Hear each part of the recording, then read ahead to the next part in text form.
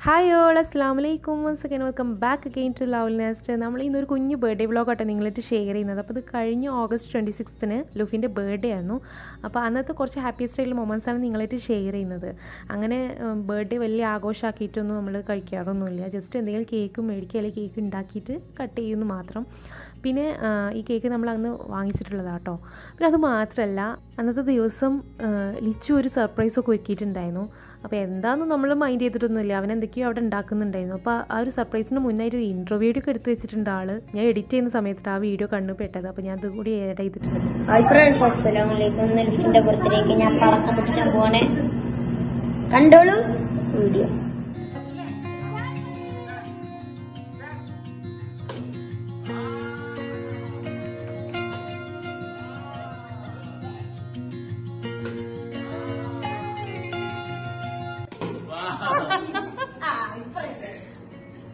Cake ചാടും cake ചാടും.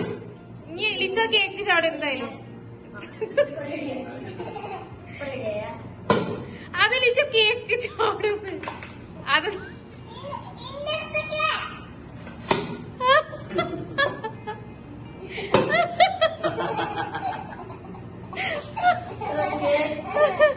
ഇതെന്തല്ലേ യൂട്യൂബിലിടൂ? ആ.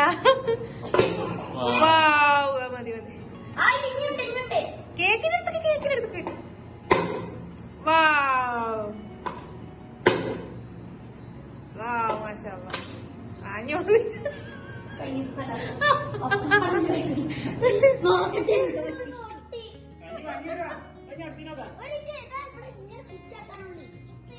അനിയന്റെ ബർത്ത്ഡേക്ക് സർപ്രൈസ് എടുക്കാൻ പോയതാ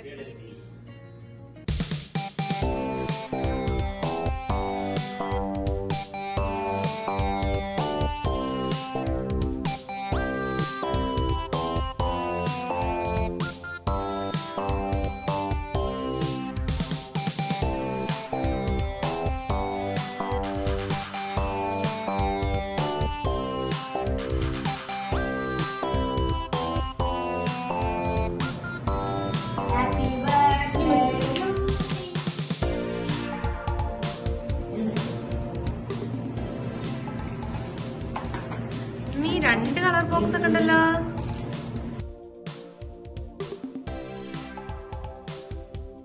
ഗിഫ്റ്റ് എന്താണ് ടോം ആൻഡ് ചെറി കളർ ബുക്കും ഡ്രോയിങ് ബുക്കാണ്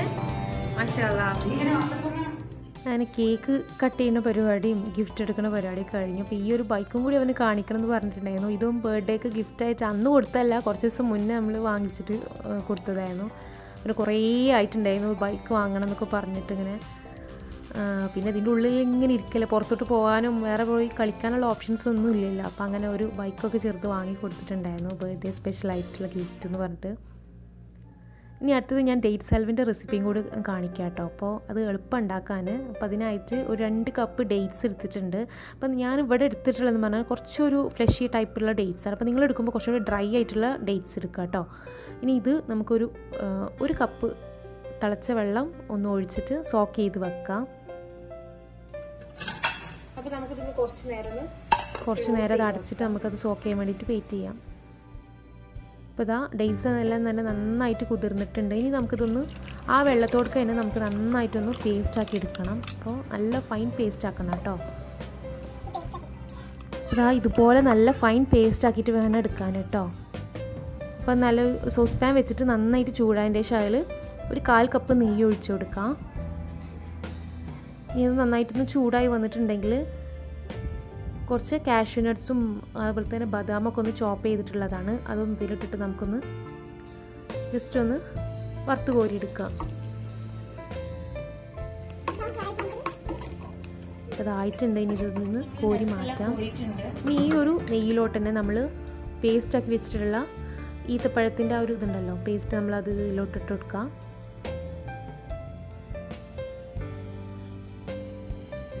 ഇനി ഇത് നന്നായിട്ടൊന്ന് ഇളക്കിയെടുക്കുക. ഇതിന്റെ മെയിൻ പ്രൊസീജിയർ എന്ന് പറഞ്ഞാൽ തന്നെ ഇളക്കലാണ്. അല്ലാതെ കൂടുതൽ കാര്യങ്ങളൊന്നും ഇതിൽ ചെയ്യാനില്ല. അപ്പോൾ നന്നായിട്ടൊന്ന് ഇളക്കിയെടുക്കുക. ഒരു അഞ്ച് മിനിറ്റോളം ഒന്ന് ഇളക്കിയെടുക്കുക. എന്നിട്ട് ഒരു രണ്ട് ടേബിൾ സ്പൂൺ നെയ്യും കൂടി അതിന്റെ മേലെ ഒന്ന് ഒഴിച്ചു കൊടുക്കുക. ഇനി വീണ്ടും ഇതുപോലെ തന്നെ നന്നായിട്ടൊന്ന് ഇളക്കിയെടുക്കുക. നന്നായിട്ട് മിക്സ് ചെയ്ത് നന്നായിട്ട് ഇളക്കിയെടുക്കണം കേട്ടോ.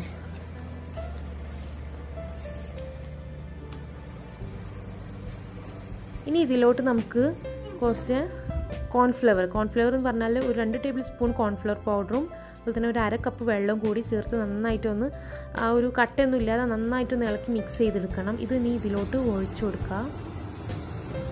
ഇത് ഒഴിച്ചെടുത്ത് കഴിഞ്ഞാൽ പിന്നെ നന്നായിട്ട് കൈ വിടാതെ ഇളക്കണം കേട്ടോ. ഇത് കട്ട പിടിച്ച് പോകും. ഇത് നന്നായിട്ട് മിക്സായി അതുപോലെ തന്നെ ആ നെയ്യൊക്കെ ഒന്ന് നന്നായിട്ട് അതിൽ അബ്സോർബായി കിട്ടുന്നത് വരെ വേണത് തെളിഞ്ഞ് വരും. ഇതാ കണ്ടോ? ഇപ്പോൾ കളർ തന്നെ ആകെ ചേഞ്ച് ചെയ്തിട്ടുണ്ട്. അതുപോലെ തന്നെ ആ നെയ്യൊക്കെ ഒന്ന് തെളിഞ്ഞ് വന്നിട്ടുണ്ട്. അപ്പോൾ ഈ ഒരു സമയത്ത് നമുക്ക് കുറച്ച് കാടമ്പം പൗഡർ അതായത് ഏലക്ക ഏലക്ക പൊടിച്ചത് അതുപോലെ തന്നെ നമ്മൾ നേരത്തെ വറുത്ത് കോരിച്ചിട്ടുള്ള നട്ട്സ് എല്ലാം കൂടി ഇട്ടിട്ട് നന്നായിട്ടൊന്ന് മിക്സ് ചെയ്തെടുക്കുക. അപ്പോൾ ഇതിന്റെ പരുവെന്ന് പറഞ്ഞത് അതുപോലത്തെ പാനിൽ നിന്ന് ഇങ്ങനെ വിട്ട് വരുന്ന ഒരു പരുവാകുമ്പോഴാണ് നമുക്കിത് ഫ്ലെയിം ഓഫ് ചെയ്തിട്ട് വെക്കേണ്ടത്. അപ്പോൾ അതിൽ നിന്ന് ആ ഒരു പരുവായിട്ടുണ്ട്. അപ്പോൾ നമ്മൾ ഫ്ലെയിം ഓഫ് ചെയ്തു. അപ്പോൾ ഇതിനെ കുറച്ച് മുന്നേ ഞാനിത് റെഡിയാക്കി വെച്ചിട്ടുണ്ടായിരുന്നു. ഈ ഒരു ട്രേ അതായത് കുറച്ച് നെയ്യ് ഒന്ന് ഗ്രീസ് ചെയ്തിട്ടുണ്ടായിരുന്നു. പിന്നെ കുറച്ച് സീസം സീഡ്സ് വെളുത്ത എള്ളുണ്ടല്ലോ അത് കുറച്ച് കാണാൻ ഭംഗിക്ക് വേണ്ടിയിട്ട് മാത്രമാണ് അങ്ങനെ ഇട്ട് കൊടുക്കുന്നത്. അങ്ങനെ നിർബന്ധമൊന്നുമില്ല. അപ്പോൾ കുറച്ച് നേരത്തെ ഇത് റെഡിയാക്കി വെക്കണം കേട്ടോ. എന്നിട്ട് വേണം നമ്മളിത് ഫ്ലെയിം ഓഫ് ചെയ്തിട്ടുള്ള ആ ഡേറ്റ്സിന്റെ ആ ഒരു ഹൽവയുടെ ആ ഒരു ബാറ്റർ നമുക്ക് ഇതിൽ ഒഴിച്ചു കൊടുക്കാൻ അപ്പോൾ അതാ സ്പെച്ചുകൾ വെച്ചിട്ട് ചെയ്തിട്ട് ശരിയാണല്ലോ അപ്പോൾ നമുക്ക് സ്പൂൺ വെച്ചിട്ട് കുറച്ച് നെയ്യ് ആദ്യം സ്പൂണിലൊന്ന് ആക്കിയിട്ട് ആക്കി കൊടുക്കുകയാണെങ്കിൽ പെട്ടെന്ന് ലെവൽ ചെയ്ത് കിട്ടും.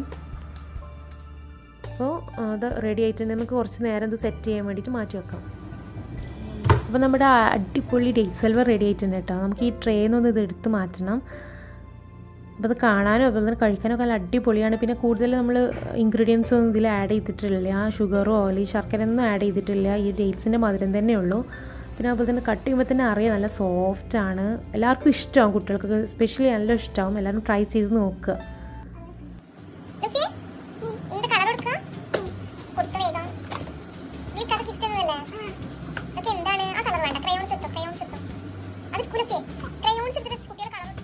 അപ്പോൾ ബർത്ത്ഡേക്ക് കിട്ടിയിട്ടുള്ള ഗിഫ്റ്റൊക്കെ കണ്ടിട്ട് ഇവിടെ കളിക്കുകയാണ് കേട്ടോ ലോഫി ഭയങ്കര ഇഷ്ടമായിട്ടുണ്ട് അപ്പോൾ ഇന്നത്തെ വീഡിയോ ഇത്രേ ഉള്ളൂ. നിങ്ങൾക്ക് എല്ലാവർക്കും ഈ ഒരു വീഡിയോ ഇഷ്ടപ്പെട്ടു തന്നെ വിശ്വസിക്കണം അപ്പോൾ എന്തായാലും റെസിപ്പി ഒന്ന് ട്രൈ ചെയ്ത് നിങ്ങൾ ഫീഡ്ബാക്സ് ഒക്കെ അറിയിക്കാൻ മറക്കരുത് കേട്ടോ.